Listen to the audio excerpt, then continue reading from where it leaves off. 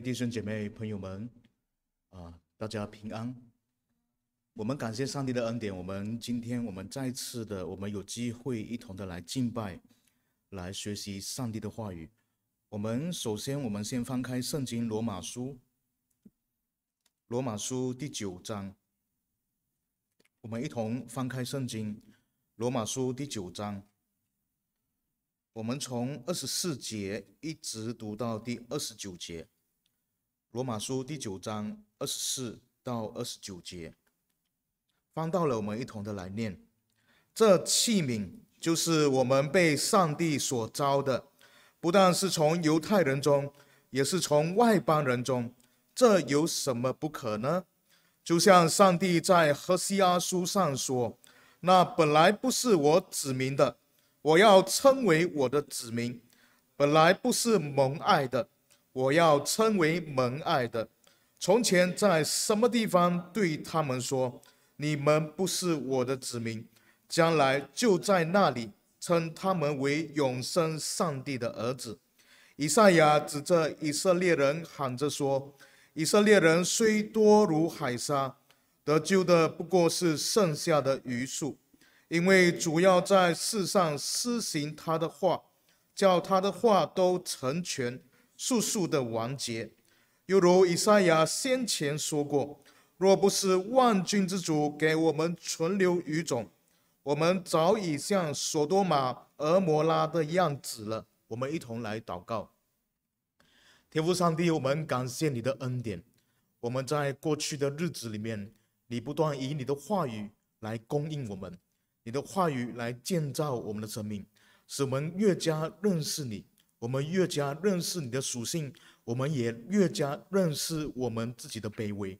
主，我们感谢你，因你借着你的话语继续赐福于我们。主啊，今天早上求你继续带领我们，透过这段的话，使我们可以明白那深奥的道理，使我们能够透过你的话语，我们更加明白主你在一开始就施行的救赎计划。主啊，求你带领我们，我们感谢你，你圣灵引导我们。你圣灵开启我们属灵的眼睛，以致我们得明白降服在你面前。我们感谢你，奉主耶稣基督圣名祷告，阿门。好，弟兄姐妹，我们在之前呢，我们已经说过了这个关于上帝的主权。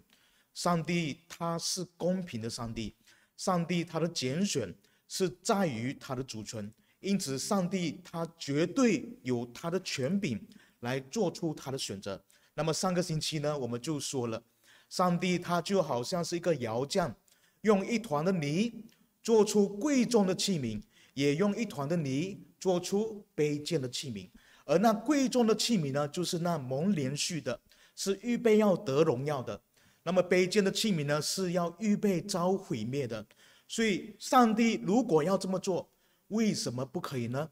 那么今天我们就继续来思考这个课题。二十四节，保罗就说了，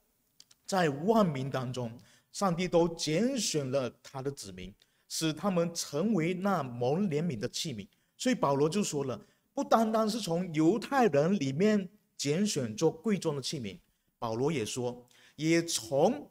外邦人中间拣选一些人来做贵重的器皿，来做蒙怜悯的，来做那预备得荣耀的器皿。所以这个是我们上周我们所谈的。我们首先，我们先来了解一下啊，今天我们所谈的这这段的这个经文的结构。所以，我们看这个新约圣经的时候呢，或者旧约圣经的时候，我们很常都会看到一些类似的结构，也就是这个经文呢，有这个 A B B A，或者是 A A B B 哈。所以意思就是。第一个经文可能是跟，呃，第第一个经文可能是跟第二个经文相呼应，或者第一个经文是跟第三个经文相呼应，所以都有可能的这些的结构的分隔。那么我们在这段经文呢，我们特别是看到啊，这个经文好像二十四节，二十四节它是跟之后的四节都是相呼应的，所以我们就在二十四节里面，我们看到。啊，保罗有谈到这个上帝，他呼召犹太人，因为他先讲犹太人，然后二十四节呢，保罗也讲了，上帝也同时呼召外邦人，所以二十四节我们就有看到这两个句子 A B。然后二十五到二十六节呢，我们就看到保罗他引用旧约圣经呢，也就是何西阿书来肯定上帝对外邦人的呼召，而这个二十五到二十六节呢，就作为一个 B 的句子，B 啊一个这个点哈，B 这个点来回应二十四节的下半句哈，所以我们可以看到这样的模式。那么二十七节到二十九节呢？保罗他就引用以赛亚这个旧约的经文呢，来肯定上帝对犹太人的呼召，而二十二十七节到二十九九节呢，也是回应这个二十四节的上半句。所以我们可以看到这样的模式，在新约圣经我们会很常看到啊 A B B A 或者是 A B A B，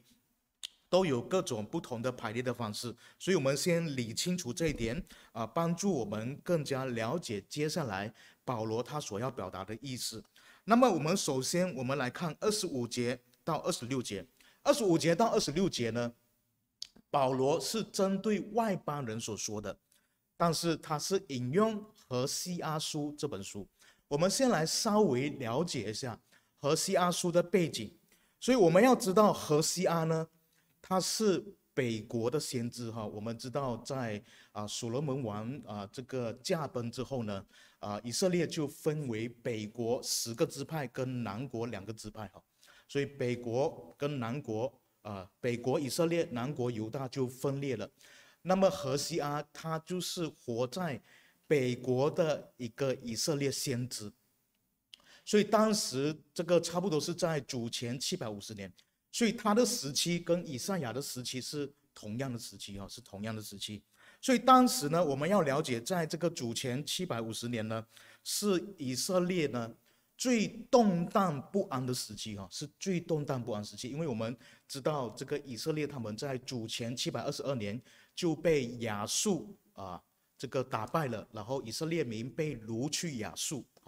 所以这个是最动荡不安的时期。而亚述帝国当时呢，在这个主前第八世纪呢。就兴起哈，成为一个很强的帝国，可以说是当时最强的帝国。他们的版图是从这个差不多是包含所有古晋东的这个地地域哈，这个 area 哈，古晋东的地域，而后来也包括埃及哈，他们也打败了埃及。所以当时呢，以色列呢，他们是面对这个啊外忧内患的事情哈。所以何西阿书呢，他在这本书呢。他特别是要强调以色列本身内部的问题是什么呢？我们一同来翻开何西阿书。我们今天我们来了解一下何西阿书。何西阿书就是在这个啊创世纪前面哈，这个是每次唐牧师讲的。如果你找不到，你就去说创世纪前边，因为有目录，然后目录可以引导你找到那本书。所以何西阿书呢，就是在但以理书的后面。啊，是何西阿书是第一本的小先知书啊，所以大家一同翻开何西阿书。所以何西阿书呢，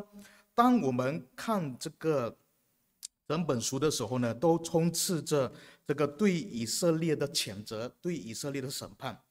所以我们要知道，当时以色列内部的问题是什么？当时以色列哈，他们虽然贵为上帝的选民，是上帝立约的子民，但是呢？他们随从外邦人拜偶像哈，所以当时他们拜的都是这个巴利偶像哈，巴利这个假神哈。所以巴利偶像是怎么一回事呢？巴利偶像呢，这个或者说这个巴利的神明哈，当时这个外邦人呢，他们相信巴利是天气之神哈，是控制天气的，所以它可以降下甘露，它可以降下雨来，使土地肥沃，使这个农作物啊丰盛，使这个农作有这个生产力哈。所以巴利是被誉为是天气的神，掌控掌管天气的神。但是我们也知道，这个在当时啊，就是主前九百到八百年这段时间呢，我们知道当时很出名的一个故事，就是以利亚对抗巴利先知的故事哈。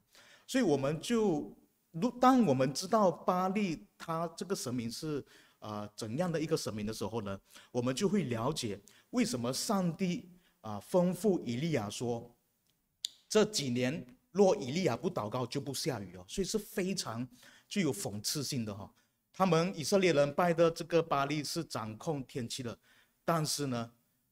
他们这这一个所谓掌控天气的神明呢，不能够使天下雨哦，因为上帝在掌权。因为上帝要审判以色列，所以之后我们知道以色列他祷告之后呢，这个天才下雨。然后耶稣他在路加福音四章二十五节呢，他也说了这个是三年零六个月哈。所以当时三年零零六个月，若没有以利亚的祷告，天就不下雨。所以我们看到当时上帝他是如何的使用。以利亚来对抗这个巴利哈，以及巴利的先知是非常有名的这个真实的历史故事哦，这些都不是神话，是真实的历史故事。然后我们再回来，所以一直到了这个差不多一百年之后呢，以色列人还是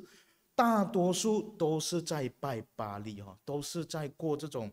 败坏的生活，得罪上帝的生活。那么巴利的这种崇拜仪式呢？啊，很有特点的就是他们一定要行淫乱哈，在这种巴利崇拜里面，一定是非常淫乱的，所以里面就包括酗酒，包括人兽交啊，包括献祭活人呢，包括甚至阉割自己自己的生殖器官啊，还有乱伦啊。但是里面最著名的就是关于跟庙妓行淫这件事情哈，所以他们每次拜巴利先知，他们都需要。跟妙计有这种性行为，因此呢，这样子的活动呢，这样子的崇拜的活动，就早早就已经触怒了上帝。上帝他必须审判以色列人，他必须审判北国哈，因为上帝的子民本来是与上帝联合的，本来是上帝立约的子民，怎么能够去与巴利呀这些妙计联合呢？所以上帝是不接受的。因此，当我们看何西阿书第二章的时候呢，我们翻开第二章的时候，啊，上帝呢他就把以色列描述成不忠的淫妇哈，他把以色列描述成淫妇。所以以色列人呢，他们不单是在身体上有这个淫乱，更重要的是他们在灵性上是完全淫乱的，他们在灵性上是完全远离上帝。而且是行淫的，是背叛上帝的。那么我们看何西阿书第一章的时候，我们就会看到一件很奇妙的事情。啊，我们看旧约，旧约先知书里面呢，只有一位先知哈，上帝吩咐他要去娶淫妇哈，所以这个是我们在现今的时代我们很难了解的。但是在当时呢，上帝就真的是叫何西阿先知。第一章我们来看第一章，何西阿先知呢？去娶淫妇为妻，我们来看第二节哈，也从那从淫乱所生的儿女，因为这地大行淫乱，离弃耶和华，所以我们就看到何西亚他就去做了哈，他就去娶了一个淫妇。那么在这个第三节，他就生了一个儿子，然后第六节又生了一个女儿，所以这个女儿的名字呢就很特别哈，叫做罗路哈玛，它的意思就是。不蒙怜悯的意思哈，所以我们就会把我们刚才所念的这个啊，那不蒙怜悯的，那不蒙爱的哈，要成为蒙爱的，所以就是跟这个事情是有关系的。所以何西阿他生了一个这个女儿呢，他跟这个淫妇生了一个女儿呢，叫做不蒙怜悯的。然后第八节我们又看啊，他又生了一个儿子，叫做罗阿米，意思呢就是不是我子民的意思，所以。当我们看保罗他讲这个不蒙怜悯跟不是我子民的意思呢，他的典故呢、缘故呢，就是来自这个旧约和西阿书里面和西阿的这个事件。所以，当然我们也看到在和西阿书里面，我们看到虽然上帝审判以色列，虽然上帝谴责以色列，但是呢，我们来翻开啊这个第三章哈，我们看第三章呢，上帝呢他又叫何西阿。赎回他的这个淫妇哈，就是叫何西阿跟这个淫妇和好。虽然他可能啊在结婚之后他行淫跟别的男人跑了啊，圣经没有很清楚说，但是上帝叫何西阿要接纳，要使这个淫妇归回。所以何西阿的这一系列的动作呢，这一系列他所做的事情呢，就作为一个隐喻哈，上帝要使用这个事件来指向以色列。所以，同样的，以色列是淫妇。以色列虽然与上帝好像结婚了，因为他们是上帝立约的子民，但是他们背叛上帝，他们去与巴利行奸淫。但是上帝在之后呢？如果我们看这个何西阿书，我们继续看下去呢，上帝说他要使以色列人归回，就好像何西阿要与这个淫妇和好，所以这个就是何西阿他所要带出来的信息。那么我们现在看回去九章二十五节。我们现在看回去，我们要记住这些事情哈。然后我们看回去九章二十五节，保罗说什么呢？就像上帝在何西阿书上说的，那本来不是我子民的，我要称为我的子民；本来不是蒙爱的，我要称为蒙爱的。好，我们现在再翻回去哈，我们再翻回去何西阿书二章二十三节，我们这两句话我们先记起来。我们翻回去何西阿书二章二十三节，何西阿书我们先做一个标记哈，我们不要不要不要把它弄不进去哈。我们翻我们翻回去，所以保罗他讲这句话呢，他其实是引用何西阿书二章二十三节。我们一同来念何西阿书二章二十三节：我必将他种在这地，素不蒙怜悯的，我必蒙怜悯；本非我名的，我必对他说。你是我的名，他必说你是我的上帝。所以好，我们这两节的经节，我们来仔细看一下有什么不同。所以刚才罗马书九章二十五节呢，保罗他是先讲什么？他是先讲本来不是我指明的，我要称为我的子民。然后本来不是蒙爱的，我要称为蒙爱的，对吗？然后何西阿书二章二十三节呢，它是倒反的哈。所以保罗他就刻意的把何西阿书这段经文呢，他把它次序倒反。所以何西阿书他是先讲不蒙怜悯的，我必怜悯；不是我指明的，我必对他说你是我的子民。所以这个是第一个不同。所以保罗肯定是引用何西阿书，但是他做了一些的修改，要做了一些的这个矫正。保罗是有他的理由。保罗他在这边所强调的呢，就是指明这回事哈。本来不是上帝的子民，但是如今成为上帝的子民，这个是保罗他先要强调的。然后保罗之后他才讲说，那本来不蒙连续的，现在要蒙连续，或者说本来不蒙爱的，这个意思都是一样的。不蒙爱的，现在是蒙爱的，这是第一个分别。第二个分别是什么呢？如果我们看何西阿书的话，何西阿书他所用的这个字眼呢，他是。当这个何西阿说什么？他说：“我必对他说，哈，他是用说这个字，英文是 say，哈，所以原文也是这个说，哈。所以何西阿他是用说，他说我必对他说，你是我的名，他必说你是我的上帝。那么我们看回去罗马书，保罗他用的字眼是什么呢？他用的字眼是 call，啊，是呼召。我们很很熟悉这个字眼的，是呼召。”啊，中文也可以翻译是称为，但是呼召是更贴切的。所以原文它是用 call 这个字哈。所以保罗他强调，我们这些蒙拣选的人呢，我们都是上帝所呼召的，就好像保罗之前在罗马书八章三十节，我们来看回去哦，八章三十节，我们要知道罗马书是一封书信哦，所以很长时候一些的内容、一些的主题都会息息相关。所以八章三十节讲什么呢？这边说预先所定下的人又招他们来，所以我们要知道呢，保罗他在强调是上帝的呼召，上帝的呼召呢是在创世以前他就已经决定了，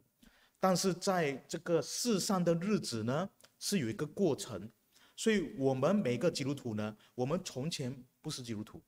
虽然上帝在创世以前，他已经决定我们要成为基督徒了，他已经拣选了我们，但是在世界历史的进程中呢，是有一个阶段性的，是有个进程的，是有个 progress 的。所以，我们以前不信耶稣基督，我们以前是亵渎上帝的，但是现在我们蒙上帝呼召，我们敬拜上帝，我们爱主耶稣基督。所以保罗所讲的就是这个意思。所以他说，本来不是我指明的，上帝要呼召。成为他的子民，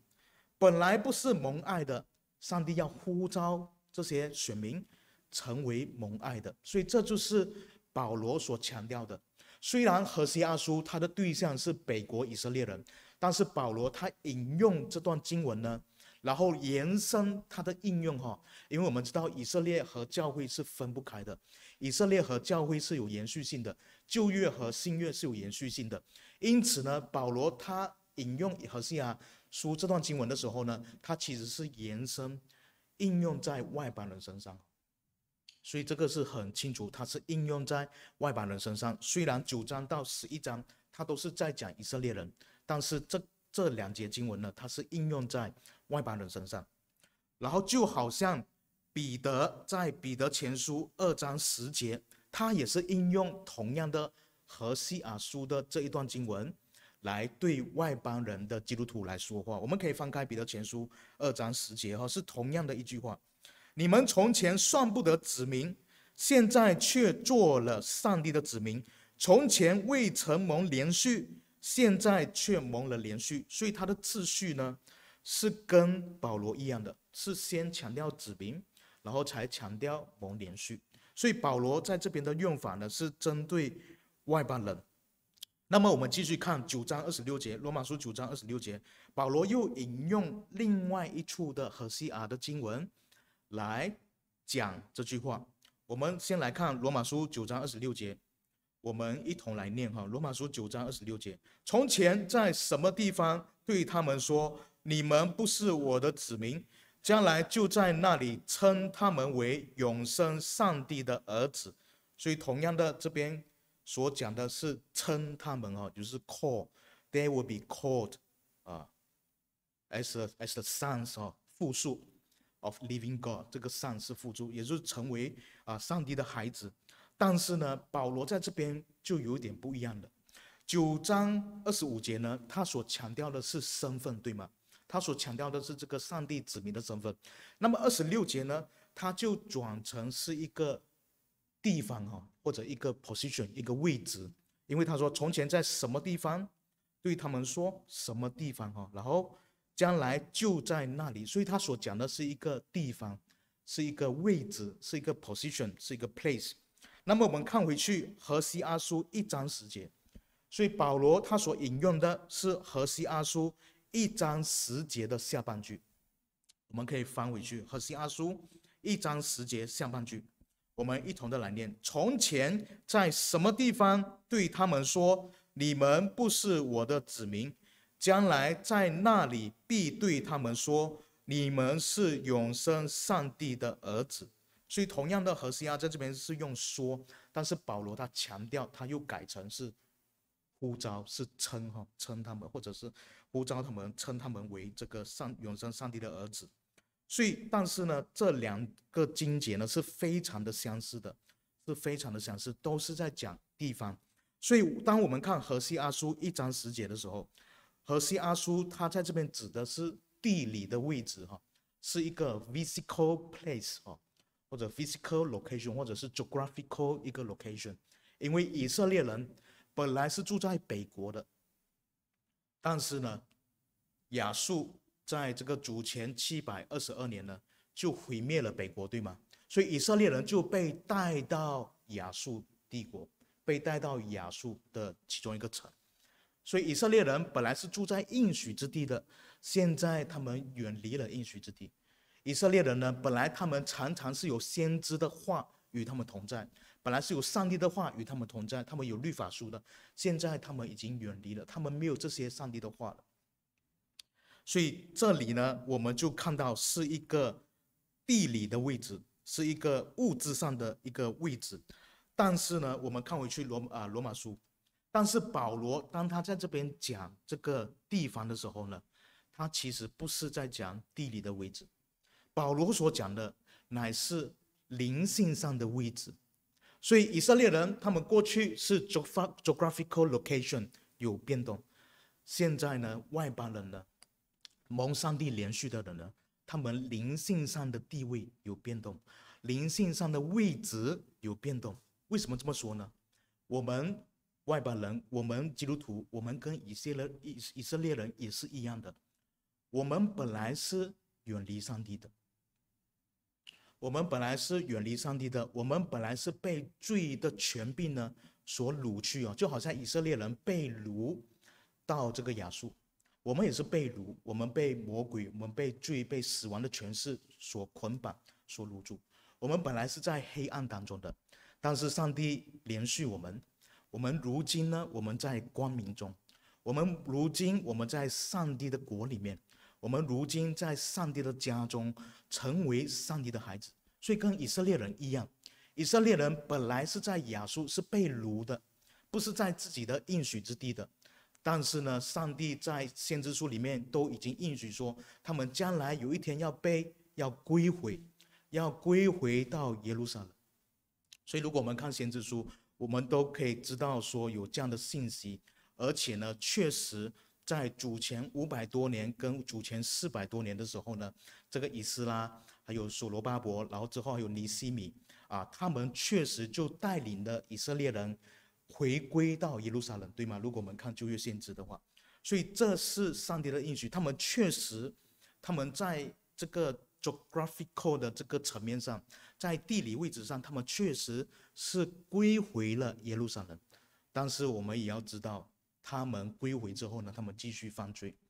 因此呢，上帝只能够借着他的爱子耶稣基督呢。使以色列人，使外邦人真正的归回到上帝那里，所以这个是保罗要说的这个意思。所以我们也回想我们过去，我们本来不是属上帝的子民，我们以前呢，我们可能是拜拜的，我们是拜偶像的，拜什么都拜，或者我们拜自己哈，我们认为自己就是神，我们拜自己的欲望，我想要做什么就做什么。但是呢，我们蒙上帝的怜悯呢，我们归回到上帝那里。我们本来不是上帝的子民，但是如今被上帝呼召成为上帝的儿女。我们本来在我们罪恶的光景里面呢，我们本来是得罪上帝的。我们本来不是被称为上帝的子民，但是如今我们在光明中，我们在上帝的家中。我们被称为是上帝的子民，所以保罗他二十五到二十六节呢，他都是指向以色列人的。而这个儿女的这个身份呢，之前保罗已经讲过了，八章十五到十六节，保罗说我们所得着的是儿子的名分，是这个继承权的这个权利，我们是与基督同作后世的，所以我们都都会记得这个第八章我这个保罗所讲的话。那么保罗他讲完这个外邦人之后呢，保罗他就转向以色列人了，因为九章到十一章呢，保罗所针对的主要都是以色列人，都是犹太人。那么我们来看九章二十七到二十八节，保罗呢，他同样他是引用两个旧约的经文，也就是以赛亚书十章二十二到二十三节来讲解他这一句这一段话。所以保罗呢。他这两句话，他是针对以赛亚人啊，这个啊以赛呃这个以色列人，就是同样的，就好像以赛亚先知在这个旧约的时候呢，他当时的这个谴责呢，也是同样是针对以色列人。但是如果我们看这个以赛亚书的后后面的呃几章的话，我们也知道这个以赛亚他所讲的这个弥赛亚的应许，也是针对外邦人的哈，所以都都是有关系的。我们来先翻开以赛亚书。我们来翻开以赛亚书，我们先看第十章。以赛亚书第十章，我们先来念二十二到二十三节。这两句话是保罗所所所引用的。以赛亚书十章二十二到二十三节，我们一同来念：以色列啊，你的百姓虽多如海沙，唯有剩下的归回。原来灭绝的事已定，必有公义施行，如水涨溢。因为主万军之耶和华在全地之中，必成就所定规的结局。所以，他跟保罗所写的话是非常类似的，是非常类似的。我们首先，我们先来了解以赛亚书的背景。刚才我们讲了，何西阿先知，他是北国的先知。那么以赛亚先知呢？他就是南国犹大的先知，他跟何西亚都是属于同一个时期，都是处于亚述帝国要攻打以色列的这种非常动荡不安的时期。所以，我们稍微了解一下以赛亚书的这个背景，特别如果我们看第七章的话，我们翻开第七章。如果我们看第七章呢，它是有这样子的背景，也就是北国以色列为了要对抗亚述帝国呢，他跟这个亚兰王组成军事联盟。亚兰王这个亚兰这个国家就是现在的叙利亚哈，Syria。所以如果我们看英文圣经的话，它都是用 Syria，就是现在的叙利亚。所以北国以色列因为他们背叛上帝，他们不不去投靠耶和华上帝，他们反而去投靠。邻国反而去与这个亚兰王来做军事联盟，不单是这样子，他们也要尝试用武力去强迫犹大国跟他们结盟，所以这个是第七章的背景。我再讲一次啊，北国以色列王他跟这个亚兰国结盟，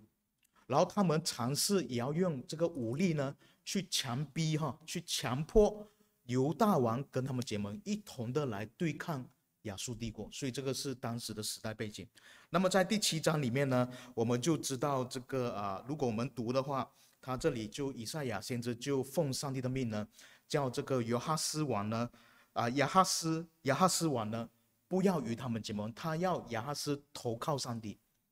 以赛亚先知跟亚哈斯王说：“你要投靠上帝，不是靠他们。”你要来投靠，要来依靠上帝，而且什么呢？如果我们看这个，啊，这个第七节哈，我们来看一下第七章第七节，这边说，所以主耶和华如此说：这所谋的必立不住，也不得成就。然后第八节，他说六十五年之内，以法莲必然破坏，不再成为国民。然后呢，然后这边呃，这边我们再来看哈，这个第。呃，第四节跟呃第四节哈，他说你不要心里胆怯，你不要心里胆怯。然后他说这一些呃以色列北国跟这个亚兰王要去强迫犹大的这个事情呢，必不得成就哈。所以这个是上帝应许这个犹大亚哈斯王的。换句话说呢，上帝就是跟他说，你不用担心，我跟你保证。这件事情必定不会成就，如果你投靠我的话。但是如果我们看这个列王记下十六章的话，我们知道最后呢，啊，犹大这个亚哈斯王他也是败坏的王哦，他选择拒绝上帝，因此这个啊，因此呢，这个这个犹大国在后期呢，他们也面对上帝审判。他们在主前五百八十六年呢，他们被巴比伦帝国所掳去啊。所以，我们如果看这个啊《列王记下》的十六章之后的发展呢，我们知道啊，这个犹大王他虽然他拒绝这个呃北国以色列王跟这个亚兰王，但是他反而选择投靠亚述王哈，所以他反而去投靠那个要来攻打北国我自己 brother 的这个国家的这个亚述王这个敌人哈，所以我们看到北国以色列是败坏的，南国犹大也好不到哪里去哈，虽然比较好一点，南国犹大。也好不到哪里去，所以我们在以赛亚书我们会看到上帝审判以色列，上帝也审判犹大的这些的信息，而且上帝也说他要审判亚述王，他要审审审判这个巴比伦，他要审判埃及等等。因为我们看到犹大国后期呢，他又去投靠埃及哈，又去投靠埃及王，所以上帝都充满着愤怒哈，要审判他们。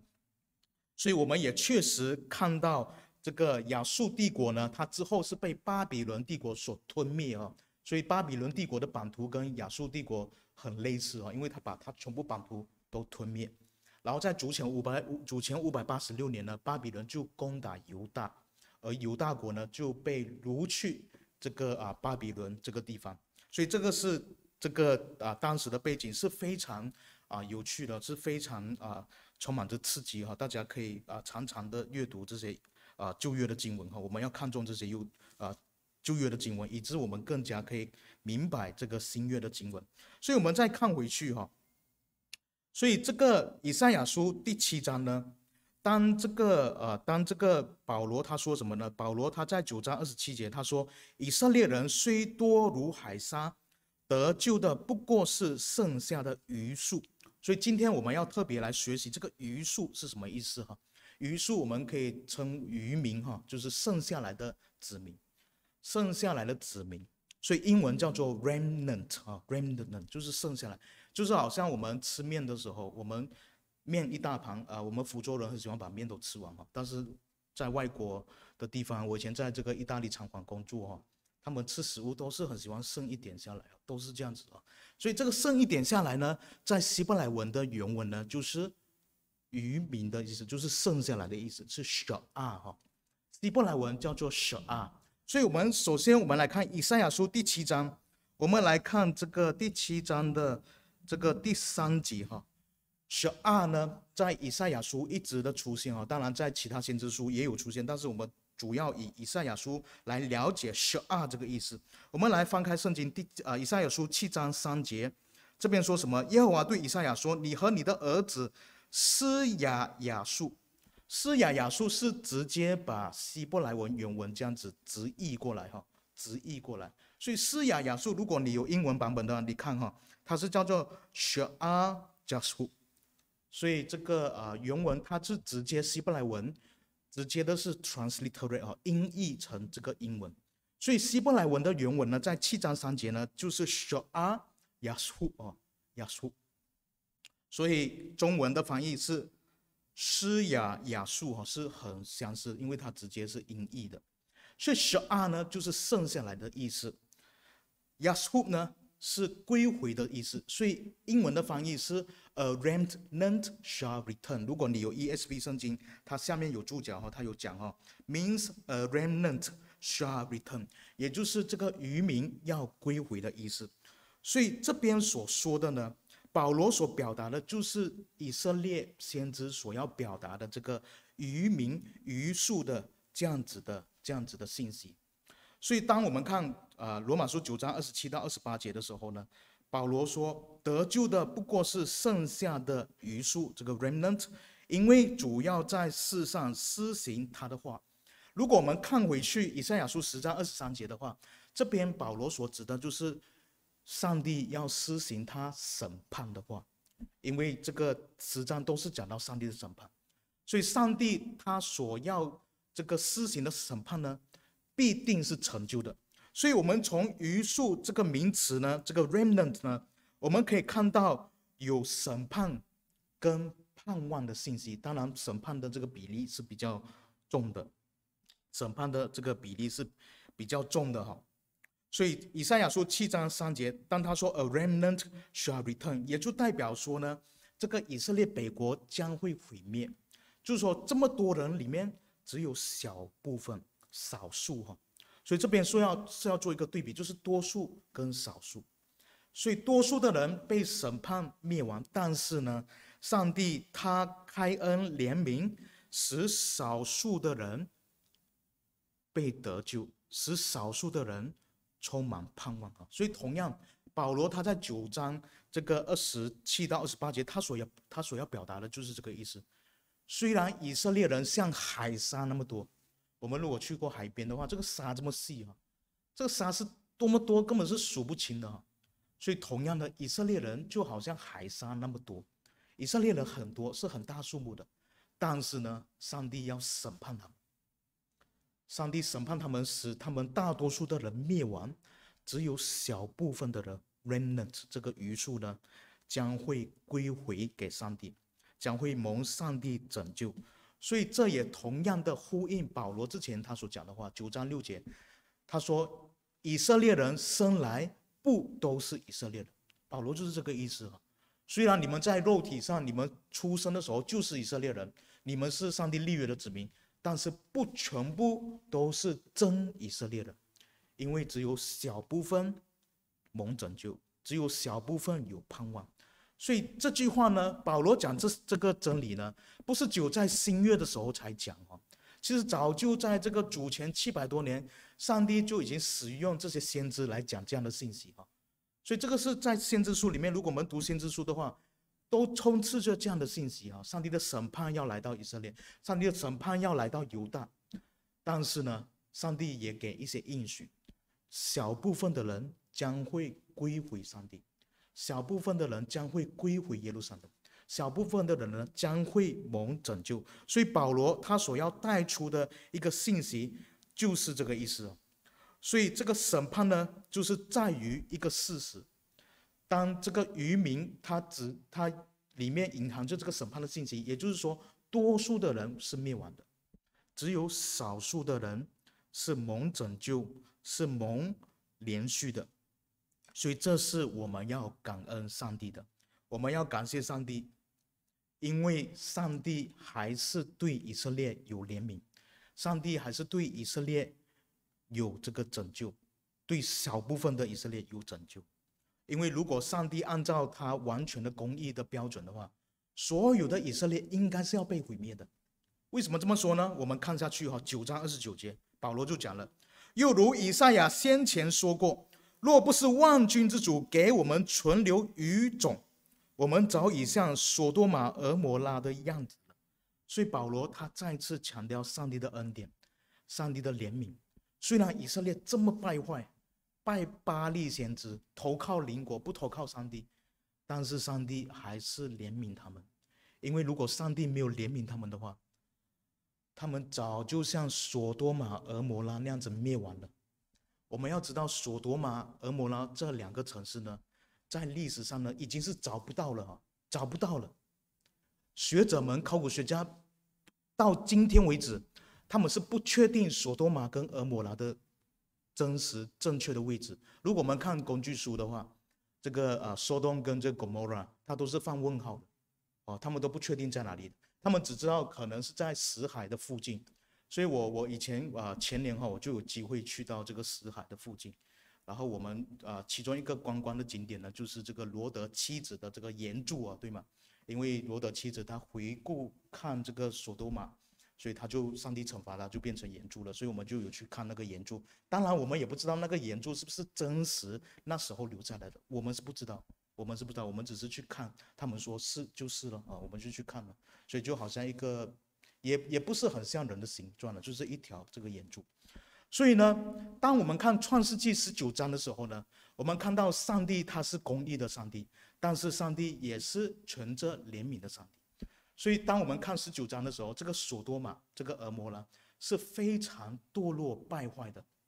我们我们翻回去创世纪十九章啊，我们要多了解这些啊旧约的这些的故事，旧约的这些真实发生的。历史事件啊，这些都不是神话，是真实发生的历史事件。索多玛有多么的邪恶呢？我们来看十九章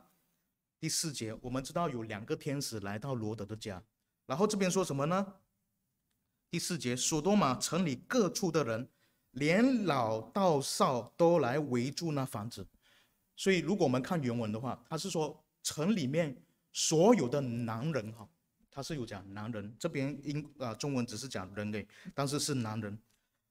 所有的男人，无论是年轻的，无论是老的，都来围住罗德的房子。然后他讲什么呢？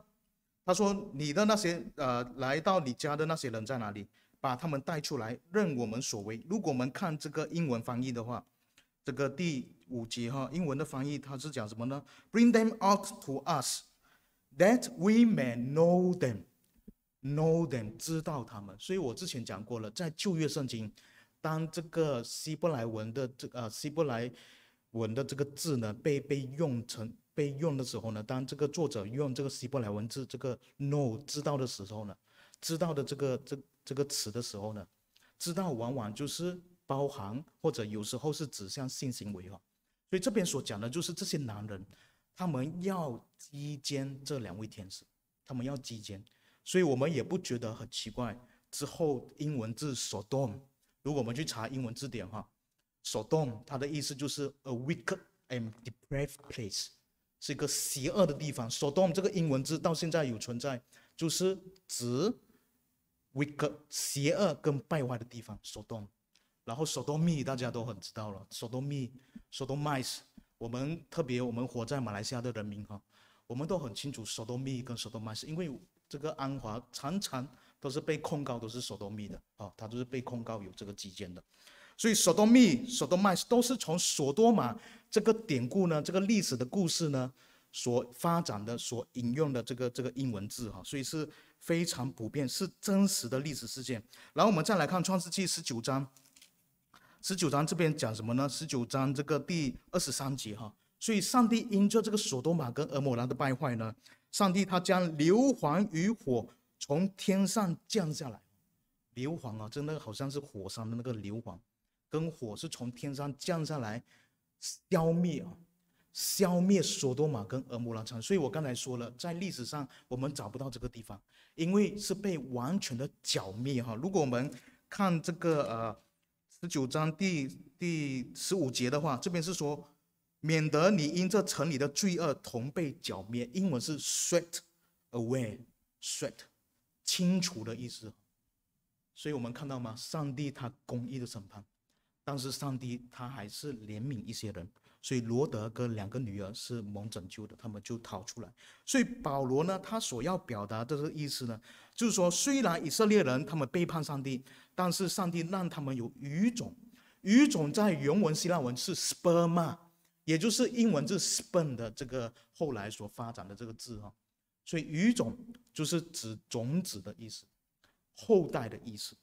所以上帝怜悯以色列，使他们有后代。使他们有这个种子呢，能够继续的发展起来。所以我们要看到上帝的怜悯。而在罗马书第十一章呢，啊，保罗他就会继续呢讲到关于以色列的渔民。所以在这里呢，保罗他所带出来的信息呢，不完全是上帝的审判。保罗他所要讲的，就是上帝他是公义与慈爱的上帝。我们基督徒，我们很长时候，我们如果对上帝有错误的理解的话，我们会以为上帝是公义的，上帝是充满愤怒的，上帝是很严酷、很残忍的。我们只注重这一方面，或者有些基督徒，我们只想到说，哦，上帝是慈爱的，上帝是很善良的，是非常喜爱他儿女的爸爸，很善良的，很爱他儿女的。这两种的观点都是错误的。我们作为基督徒呢，我们一定要了解上帝的公义与上帝的慈爱。塔木斯他甚至说过，我们要先了解上帝的公义，那么呢，我们才更能够了解上帝的连续。这句话是非常正确的，因为当我们知道上帝他与罪是不妥协的时候，当我们知道上帝是全然圣洁的时候，他施行审判在全地的时候呢，我们再来。认识上帝的慈爱的时候呢，我们会知道这位上帝他是充满怜悯的。我们本来都是死在罪恶里面，我们本来都是下地狱的，好像以色列人，他们在古代本来早就被毁灭了，本来到今天都已经没有所谓的以色列民族了，本来都没有了，因为他们得罪上帝，他们是与上帝结盟、与上帝盟约的子民。但是今天以色列国家还存在，我们看到上帝的怜悯，我们是否可以看到上帝对这个民族的怜恤？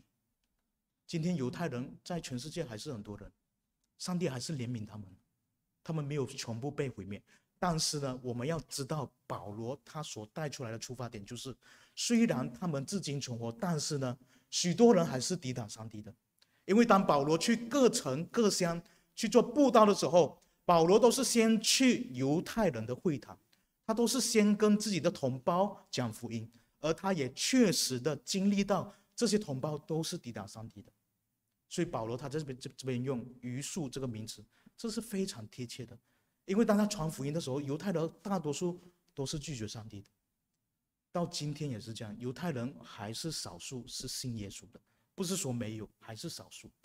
所以这就是保罗所要带出来的信息。同样，我们基督徒，我们要感谢上帝的恩典，我们要每一天向上帝感恩，因为若上帝不是连续我们的话，我们到今天我们都不是上帝的子，我们本来不是上帝之子，我们本来不是蒙爱的，但是今天呢，上帝呼召我们，他称我们为上帝的子民，他称我们为上帝所蒙爱、所怜悯的，我们感谢上帝。所以我们在日常的生活中，我们岂可以玩弄上帝的恩典我们岂可以玩弄我们基督徒的身份呢？我们岂可以随随便便的过日子呢？就算是在疫情当中，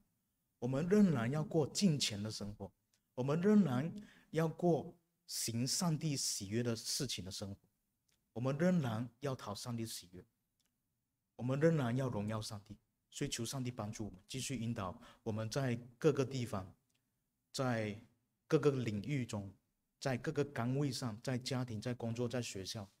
我们都能够讨上帝喜悦，因为我们是蒙爱的，我们是蒙怜悯的。我们一同来祷告，天父上帝，我们感谢你的恩典，这一段深奥的道理，你向我们来诉说，我们感谢你。因着你圣灵的引导，你自己的怜悯，使我们得稍微明白上帝你自己的属性。主啊，求你继续恩待我们，使我们不像以色列人，不像犹太人那么顽梗的抵挡上帝。我们乃是谦卑来到上帝的面前，我们降服于你，我们来称谢你，我们来赞美你。说，因为你对我们的恩典是何等的浩大，我们本来不是你的子民，我们本来是得罪你的，我们本来是每天引起你愤怒的人，但是如今因着耶稣基督他所成全的救赎工作，我们得以被称为，我们得以被呼召成为你的子民，我们得以被呼召成为你的儿女，我们可以被称为是蒙爱。是蒙怜悯的，我们向你感恩。主，我们也求你继续开恩怜悯犹太人这个民族。主啊，他们在当中还是有许多抵挡你的，我们也要继续为他们祷告，盼望你的恩典也临到他们，使他们里面的人也有敬畏上帝，也有敬拜主耶稣基督的人，使他们得着你特殊的恩惠，使他们得明白过来。使他们相信三位一体的上帝，主啊，求你开恩怜悯他们。我们感谢你，求你垂听我们众人祷告，奉主耶稣基督的圣名，阿门。